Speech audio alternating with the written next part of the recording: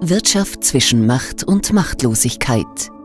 Unter diesem Motto trafen sich hochrangige Vertreter aus Medien, Politik und Wirtschaft beim dritten Medienmittelpunkt Ausseer Land. Das steirische Salzkammergut präsentierte sich dazu erneut von seiner schönsten Seite.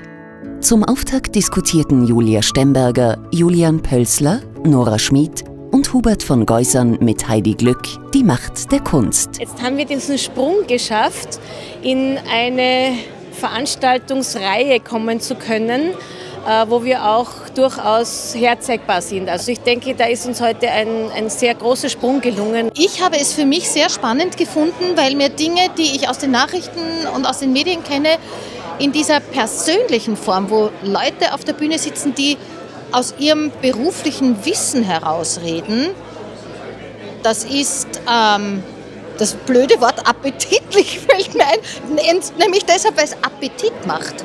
Es macht Appetit, mehr zu erfahren und sich besser auszukennen. Danach war die Wirtschaft an der Reihe.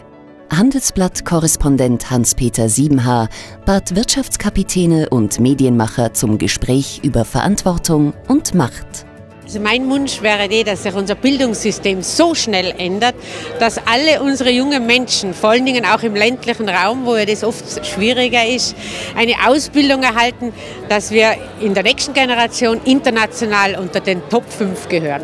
Wir leben in einer Welt, wo die Googles dieser Welt einfach unglaubliche Stärke haben, unglaublich viel Bewegungsspielraum und auf der anderen Seite österreichische oder europäische Medien sehr eng reguliert werden. Und hier gehört ein, ein, ein Plain Level Field, ein ebenes Spielfeld hergestellt.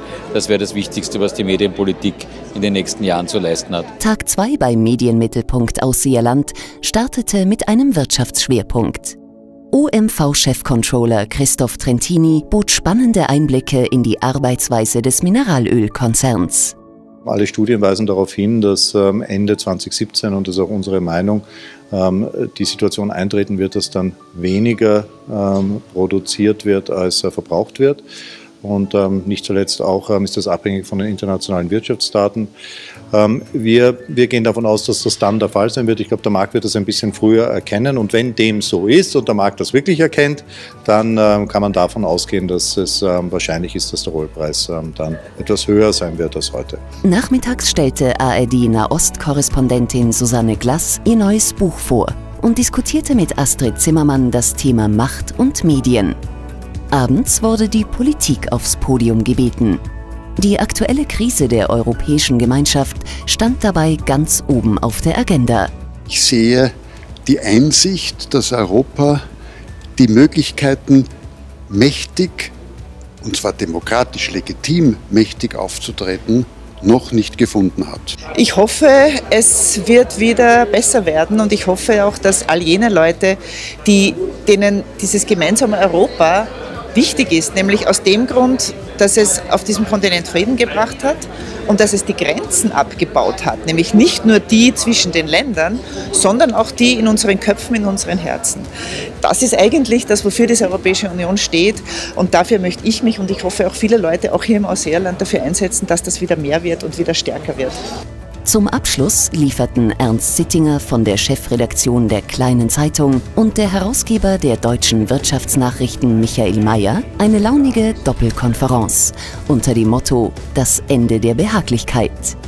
Nach drei Tagen intensiver Gespräche und Diskussionen zog der Veranstalter positive Bilanz die Resonanz, auch diejenigen Leute, die von aus Berlin und Wien und anderen Städten hierher kamen, war dementsprechend positiv, dass ich überzeugt bin, dass wir auch nächstes Jahr zum Thema Wirtschaft eine interessante Tagung wieder auf die Beine stellen können. Für mich ist ganz wichtig, dass wir nicht immer wieder zurückschauen auf Menschen, die im 19. und 20. Jahrhundert hier waren, sondern dass wir jetzt auch Leute hier haben, die etwas zu sagen haben, die etwas mitzuteilen haben durch ihre Kunst, durch ihre Intelligenz, äh, die wir einfach brauchen. Das ist so richtig das Salz in der Suppe des Ausseerlands.